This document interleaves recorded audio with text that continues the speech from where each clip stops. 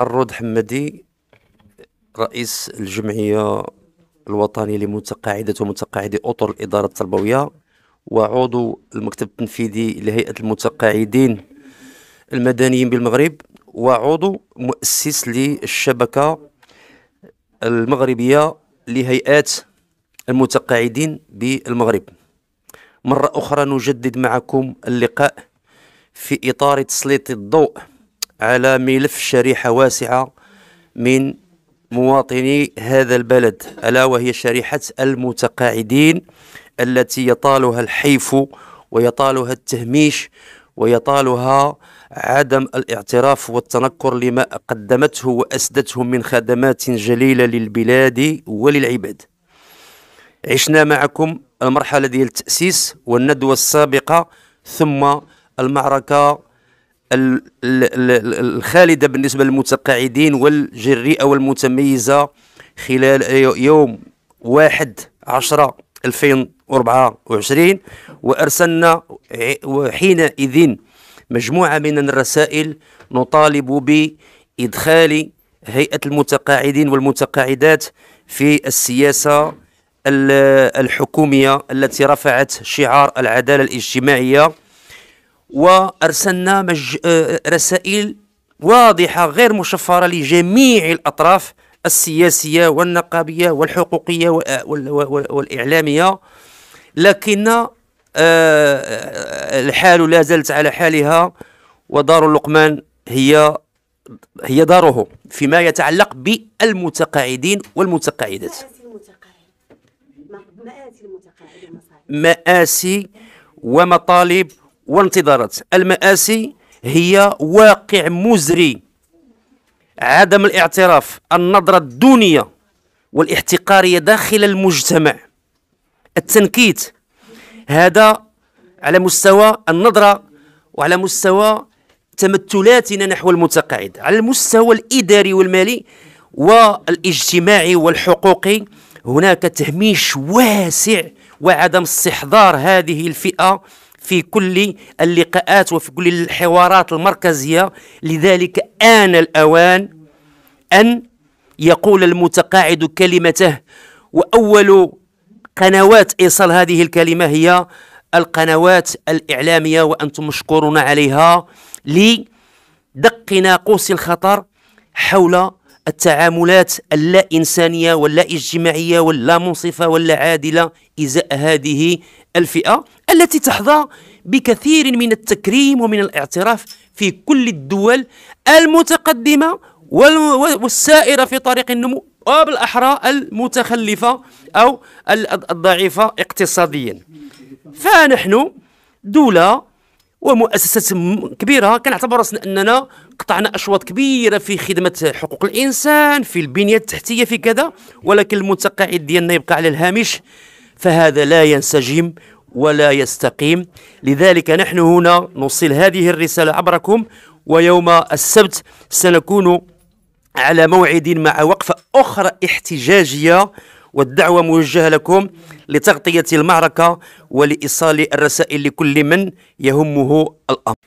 آه، فاطمة أمريم آه، نائبة رئيس هيئة المتقاعدين المدنيين بالمغرب وكذلك هيئتنا هي عضو مؤسس في آه، في الشبكة المغربية للشبكة المغربية للمتقاعدين.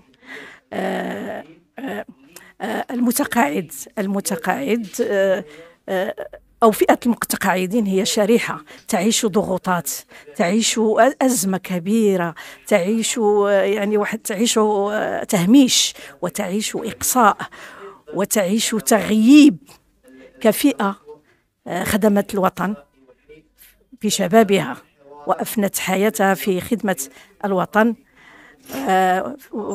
ويتم تغييبها من طرف الحكومة. هي تعيش ضغوطات مع ارتفاع الأسعار المهول آه، وارتفاع وانخفاض القدرة الشرائية لهذه الفئة. آه، ومما يزيد طين بلة التغطية الصحية التغطية الصحية التي لا لا يمكن للمتقاعد أن أن, أن, أن, أن يدبر تكاليف العلاج والدواء خصوصا وأنه أن في مرحلة في مرحلة الشيخوخة تكون مرحلة يعني يكون فيها المتقاعد يعاني من أمراض مزمنة. وهذا ما يزيد هذا ما يزيد من من إحباطه ويزيد من قلقه. ولهذا نحن هنا في لي لي للقيام بدورنا للدفاع عن هذه الشريحة والدفاع عن هذه عن هؤلاء المتقاعد وعن ذوي الحقوق وعن الأرامل وذلك بأننا سننظم وقفه احتجاجيه يوم 30 يوم 30 نوفمبر. آه، لأنه تم تغييب آه، آه، ملف المتقاعدين في في الحوار الاجتماعي السابق. ولهذا نحن ندعو كافة المتقاعدين والمواطنين وحتى المزاولين لأن المزاولين سيأتي يوم وسيصبحون متقاعدين. ندعو الجميع إلى تضامن مع هذه الفئة لأن هذه الفئة فيها ابائهم فيها فيها أمهاتهم فيها أعمامهم. يعني آه، هي شريحة مهمة آه، ولا بد من مؤازرتها. يوم 30 نوفمبر. اولا تنشكر جريده الحياة اليوميه على الاستضافة من هذا المنبر الشريف. أنا كمتقاعد سكك حديديه غنجيب التصريح ديالي.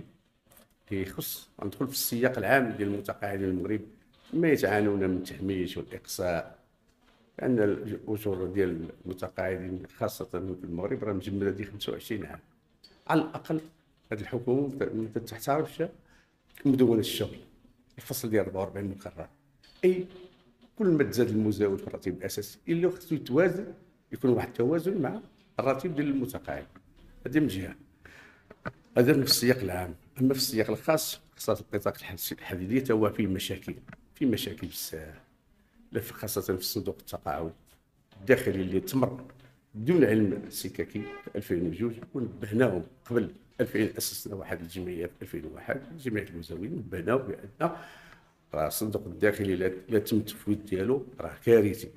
RCAR لحقاش ال RCAR عندها منظومة خاصة بها؟ وهذه ال RCAR حتى هي ما احترمتش النصوص القانونية ديالها ما طبقاتهاش على السككي. لذا السككي الآن تحرم على الأقل من 3000 درهم التقاعد ديالو.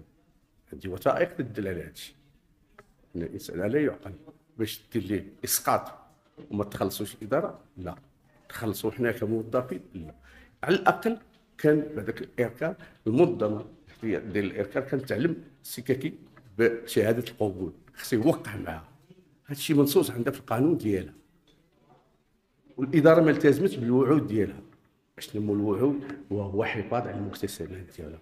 باش ندوزو من الصندوق الداخلي نتفوتوا للصندوق الاركا راه تحرمنا بجميع المكتسبات. السلام عليكم عبد السلام البقالي الرئيس المؤسس للرابطة الرابطة الوطنية للمتقاعدين وزارة الأوقاف والشؤون الإسلامية عضو الشبكة المغربية لهيئة المتقاعدين بالمغرب. آه نحن الآن هنا للإعلان. مرة أخرى عن آه لنرفع أصواتنا للمرة الثانية وقد نشأت هذه الشبكة منذ شهرين فقط في 18 سبتمبر وأنجزت وقفة آه، احتجاجية كان لها إشعاع كبير في فتح أكتوبر من مناسبة اليوم العالمي للمسنين. إن ملف المتقاعدين أصبح ملفا آه، أبديا ملفا يطاله التهميش منذ ربع قرن. وإذا قلت ربع قرن فإن المعاشات لم تعرف زيادة ولو درهم واحد منذ 25 سنة في ظل خمسة ديال الحكومات المتعاقبة إلى اليوم فيها اليمينية واليسارية والوسطية إلى آخره. لذلك كما أن آه، قضايا المتقاعد لا يأخذها لا تأخذ على عاتقها الأحزاب السياسية والنقابات أما الحكومة فحدث ولا حرج. وإننا قد آه، تفاءلنا خيرا بتبني بعض الأحزاب السياسية مؤخرا.